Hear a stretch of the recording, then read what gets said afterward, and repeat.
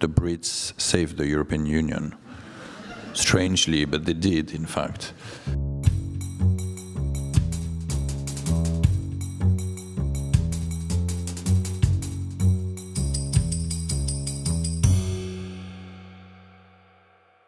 Let me start with a quote from the book uh, that you mentioned, uh, Milan Kundera's Kidnap of the West, L'Occident kidnappé, because he wrote it in French first. Small, arch European, super diverse Europe. He was referring to Central and Eastern Europe. A miniature model of the Europe of nations where this rule applies maximum diversity on minimum territory. How can that Central Europe, that Central and Eastern Europe, not be horrified by Russia, which right on its doorstep has the opposite rule minimum diversity on maximum territory? He wrote this in the early 1980s.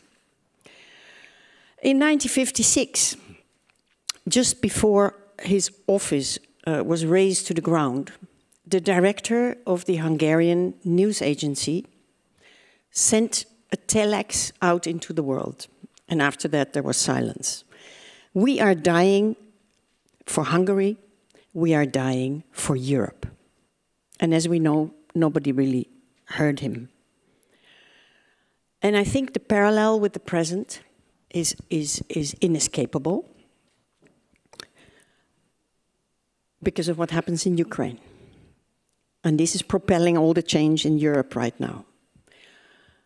The Ukrainian president is trying to tell us exactly what the, what the guy in Budapest in 1956 of the Hungarian news agency was trying to say. We die not just for ourselves, but for Europe. You know, you Europeans, you may piss on on the technocratic and boring, in your view, Europe that you have, you know, and you, you keep saying you want more drama in European politics. But me, Volodymyr Zelensky, and all the Ukrainians, we want less drama. You know, we have too much politics. And our houses and our schools and hospitals are, are being bombed flat every day. So, you know, I would like to have more of your, your technocracy. I want to have more of your bureaucracy. You know, the more boring and the more uh, technocratic, actually, the better it is. So here we have the parallel with Kundera.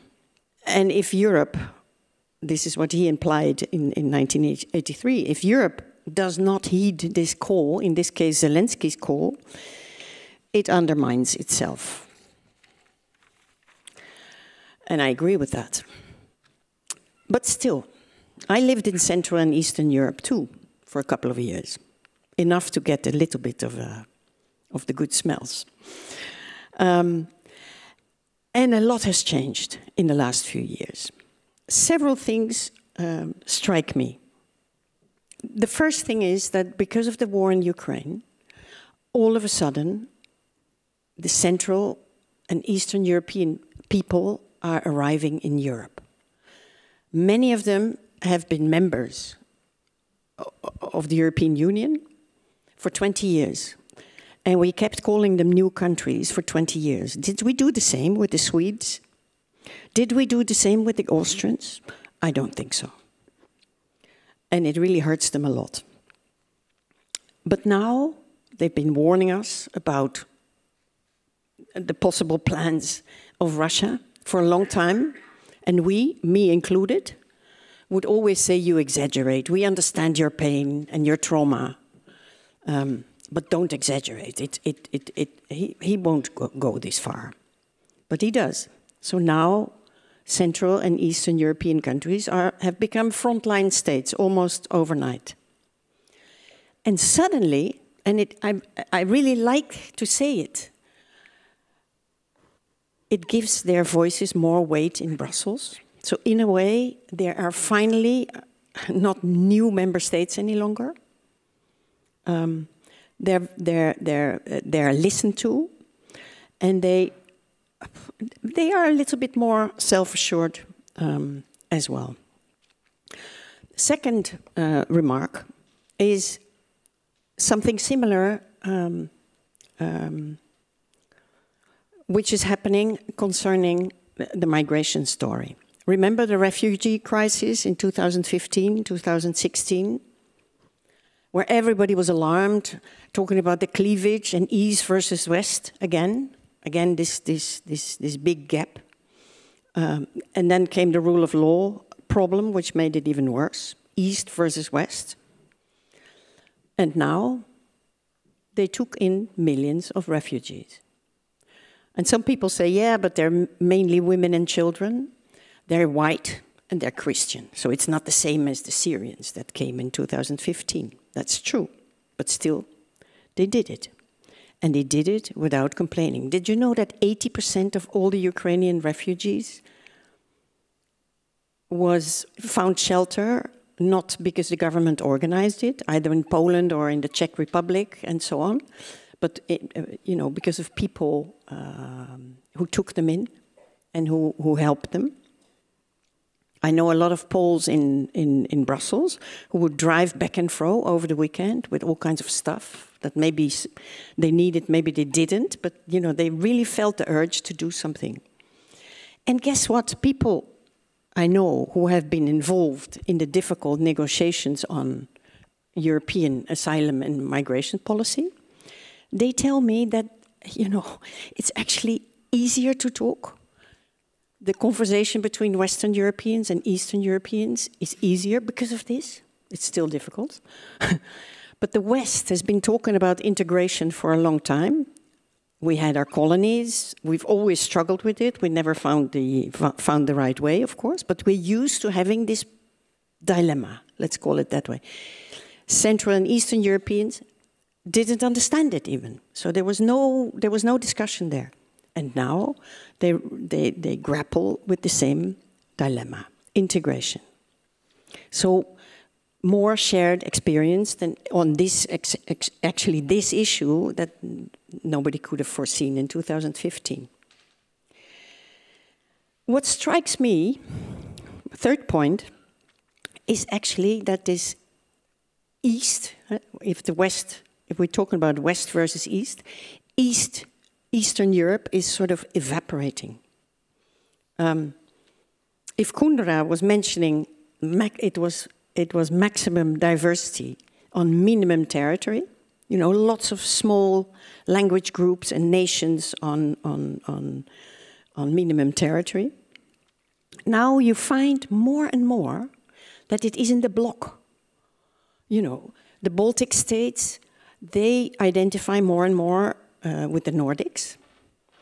Um, the Czech Republic is now discussing whether they will adopt the euro because they, they find out that they're actually totally Central Euro European and very much hooked to Germany, also economically, but not, but not just. Um, Poland and Hungary usually can't stand each other. Uh, but for a while, they, they, they helped each other on, uh, you know, undermining the rule of law in Europe. But even on, on, on that, they don't see eye to eye anymore. Huh? So they, they're moving in totally different directions. Actually, all of them is finding, they're finding their own voices now. Uh, there is hardly any Eastern Europe anymore. So Europe is changing all the time. 10 years ago, we had the euro crisis.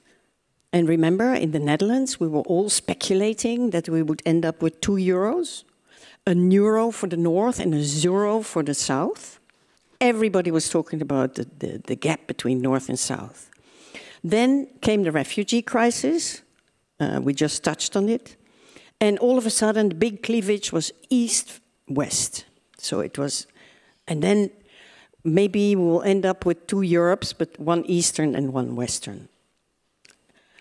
And now, um, you go fast forward, which economies are the fastest growing in Europe? We're talking about Spain, we're talking about Greece, and we're talking about Portugal. Good for them. I think this is really nice. Um, Poland, uh, we see now coming back uh, in the EU in the EU core on on foreign policy, but even on, on, on climate uh, measures, and they're fully, fully backing those again. Um, so the cleavages in Europe are there, and they're always there, but they're never permanent somehow. And uh, I think this is what the, what the European tissue, and this includes cultural tissue, um, is all about. It is sort of a scar tissue. Um, and it's one scar on top of another. So you have here, you have the, the, the, the, Euro crisis scar, and then here is the refugee crisis scar. And so on every scar, new tissue is, is built. None of those problems and fights between European countries is ever forgotten. Yeah, that's the scar, it's always visible. Um, it's never totally healed. But all together, this forms still strong, solid, ugly, okay, but strong and solid and also very flexible tissue. And let me finish with, with another quote from a former British um, diplomat and later European diplomat, um, Robert Cooper. He wrote a fantastic book called The Ambassadors about the scar tissue. He doesn't call it scar tissue, that's mine, but he explains why we have this scar tissue, and I think it's great. The density of EU business, and he doesn't mean, you know, doing business, but everything, means that national governments are in permanent negotiation with each other. One consequence is that you never know whose help you may need tomorrow. You can never break with any one country, no matter how bad your quarrel is with that country.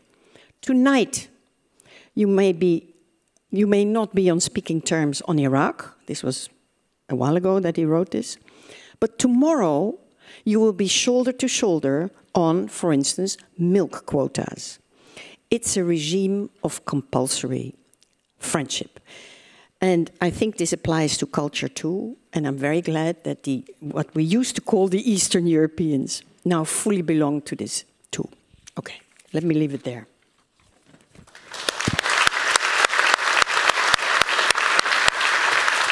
I agree with uh, Caroline. I think there is a, a Europeanization of politics uh, all over the continent. I think the Brexit was the best service ever given by anyone to the EU, in fact. The Brits saved the European Union. Strangely, but they did, in fact. I mean, people have understood that basically it's the, the, integration went so far that in, it's impossible to go back where you were. 30 or 50 or 60 years ago or 70 years ago. So that's that's one thing. But it's the whole thing is a paradox because on one end you have the Europeanization of the continent politics, in, and on the other end. Uh, the far right or the extremists have never been so strong, in fact. So on one end, you have the whole Europeanization of the continent. On the other end, this Europeanization, in fact, might have as a result in June as the the rightest or the, the yeah the rightest parliament ever in history. So basically, the far right now, the new, but not only because I mean it depends on the country. But for instance, uh, in France, the the far left is as populist and as dangerous, and sometimes even more dangerous than the far right on certain issues. So all these populist things now they've understood that the playground is Europe that the national state is gone somehow. I don't agree with you. I think with the national states are getting more and more powerful. Also in Brussels. Everybody's getting more powerful in Brussels, and that's why it's becoming more interesting. I, I, I agree with you, so I don't agree with me.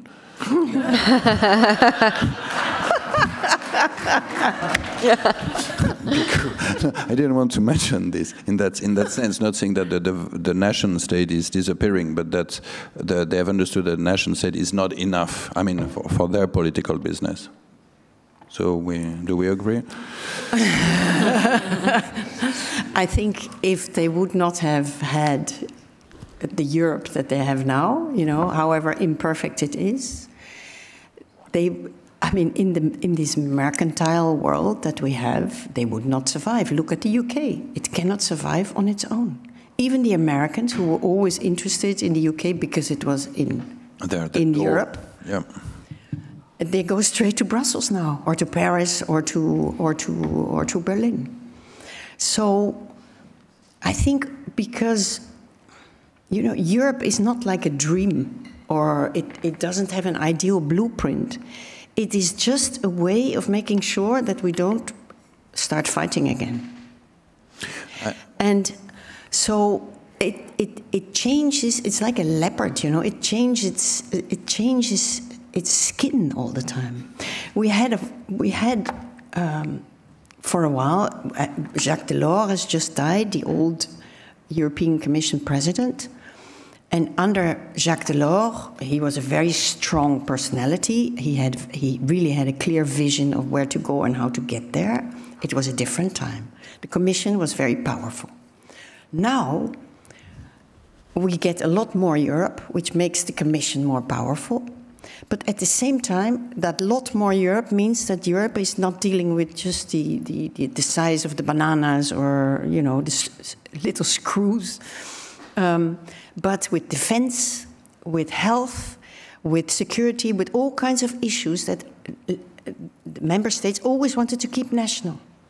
And now, because, I mean, they ask for it, they have to work together because otherwise they will be wiped out by the Americans, the Russians, the Chinese, and everybody else. So they do it together, but they don't want to give the power to the Commission like they did before. So they keep the fingers on the buttons in Brussels. The member states are getting in, in a lot more power these days. A lot of things. You know, they used to take all the big decisions in Brussels and then leave it to the Commission to implement it. Now, they take the decisions and they stay on board for the implementation. So we have all we all have vaccines because there was no other way. Mm -hmm all the contracts that the Commission negotiates, they go to all the, to all the uh, European capitals, and they all check those contracts. Some of them have pharmaceutical uh, companies, and they change things in those contracts, um, and they make sure that you know with every new order, it you know they see the contract again. This is incredible. I mean, heads our leaders, our national leaders who have been elected to run their country, they're basically running half of Europe now. And there are many examples. The, the migration deal in Tunisia, you know that this was uh, uh, Ursula von der Leyen. She went there together with Rutte and Meloni. So it, we, we, we used to say if the Commission gets more powerful, if Brussels gets more powerful, the member states lose, they get less powerful. Now they are both getting more powerful. It's a kind of so it's the, the member states, I think, are more powerful than ever. And I agree with that. I think it's the the the, the whole the, the Europeanization of the whole game, in fact. Yeah. So every everybody is getting more powerful at the European level because they've understood that the European level is the most important one, in fact it's inescapable. Otherwise, they wouldn't do it. Exactly. but then I'm going to ask um, you, you, first, Joris. Do you think? Do you agree? And second, do you think that's a good or a bad thing? Well, what what really worries me is that it's all of this is happening over the heads of basically the entire population who have no no eh, virtually no understanding of what's what's being done. And as long as the output legitimacy is fine and the sort of euro is stable and so on, there are no big refugee uh, crisis, then people go like, okay, well, well but it's they we're, we're, we're transferring powers that used to have uh, a whole structure of legitimacy around it that was you know democratically grounded in a national country and these powers just sort of float away um, so you end up with these compromises that are negotiated in Brussels and as a national country all you can say is send them back you say no we don't like this but which we immediately you know upsets the whole thing because if you want changes to the compromise, and everybody wants changes to the compromise, and so there, there, it's it's democratic in the sense that democratically elected. Um, parliamentarians in the end vote in favor of whatever was negotiated in Brussels. But that's something else than that than democracy as a sort of the expression of a popular will, if you like. And on the national level, there is this back and forth. And You don't have that on the European level. And so I was thinking, reading the book, I'm thinking, why have uh, writers clung so much to the national? And I think it's because as a writer, if you write a book in your own country, you make an impact in that country, and there's a back and fro, and it's the, the, the, media are still organized nationally, and so you can even sort of dream about perhaps someone in power reading it, or people around that person in power reading it, and there's a back and forth. If if you would move to the European level, where's the echo of your work? Mm -hmm. And I think this really worries me that we may end up with this sort of functioning structure, but it's almost entirely alien to people and it isn't able to express what people want on the sort of level where power is exerted. So power sits at the European level, but democracy at the national level. And that's what really worries me. And tell me then, really concrete, what are the dangers of this? I think that, that if, if you're going to transfer these powers, like the currency, the borders, uh, power over the composition of your population, and people feel they have no real say in it. And, but they're going to have to make uh, sacrifices. They're not prepared for these sacrifices. And then the sacrifices come. That is very, very dangerous. The, the French did much better, but the, basically the Dutch introduced the euro as if it was just some sort of new plastic little uh, card that we were going to get. There was this Banksy flop uh, campaign because the most important question was what countries can you use the euro in? Mm -hmm. But we transferred something mightily important, which was the, the power to set interest rates. And so there were real sacrifices involved in the introduction of the euro. We didn't prepare the population for it, and then it almost went sour with the Greek crisis, and people were utterly unprepared. If you're, if you're honest and upfront about the disadvantages, the risks of a certain step, then if they materialize, people know, knew what was coming. And in that sense, I think the pro and the anti Europeans are just as deceitful because the pro Europeans say, let's finish this building, there won't be sacrifices. The other ones say, let's tear this building down, there won't be sacrifices. Mm. And then the status quo people say, let's keep the status quo, there won't be sacrifices.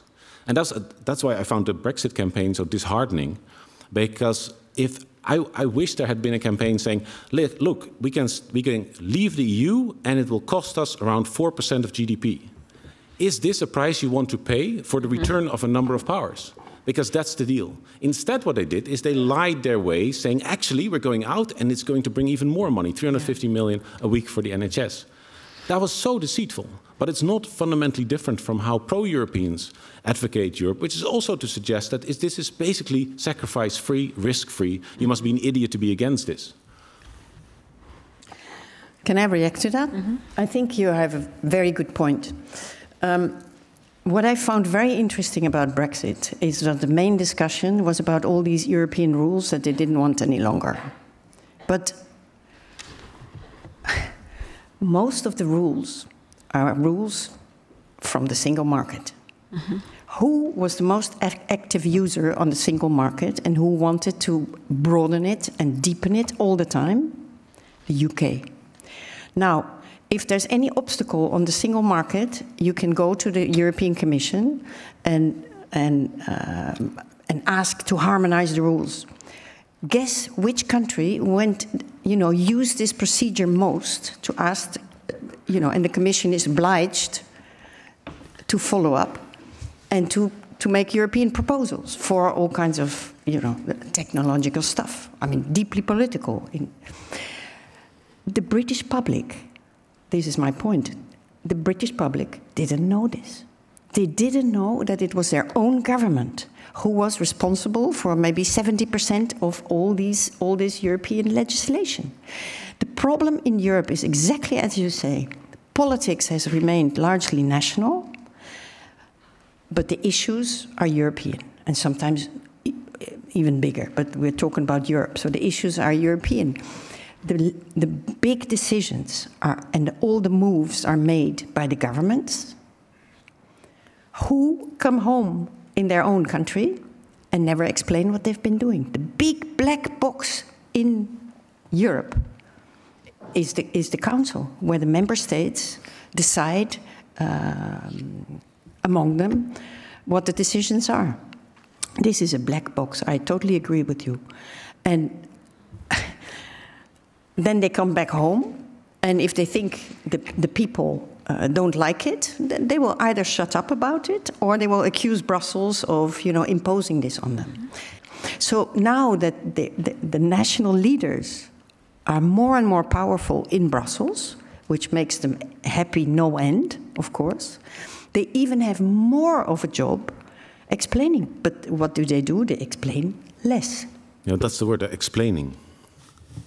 And so democracy is about more than being explained, getting explained to you what has been negotiated. Taking responsibility, that's what I mean. They have a responsibility that they don't take. True, but even if they did, there's the problem that there's no European public opinion that can express one preference over another. And so if we move away from the technocratic and we look, for example, at euthanasia, and how over the past 30 years in the Netherlands, we've, we've slowly come to terms with how we're going to organize death for people who no longer can or want to live. Now, how would something like that work on the European level? And how would, at some point through technology, we're going to have something as hairy, difficult, wicked as euthanasia? I can see how we did this in, in, in the Netherlands. You know, writers write books and public opinion, and scientists weigh in. We have an election, we have another election. There's back and forth between the government and, the, and, and civil society, and so on and so on and so on. But who says there will be a European rule on euthanasia? I've never heard of that. No, and that's exactly my, my thing. If we're going to transfer more and more powers to the European level, where are we going to have these functioning debates?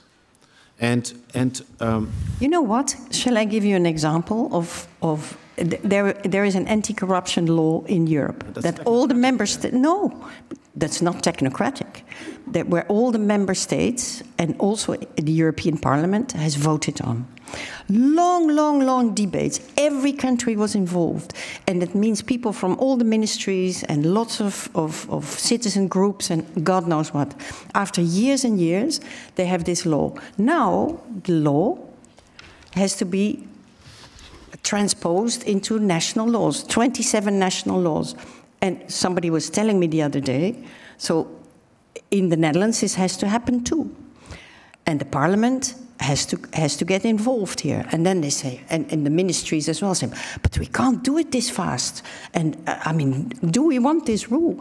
They had in every stage of the process, they were involved.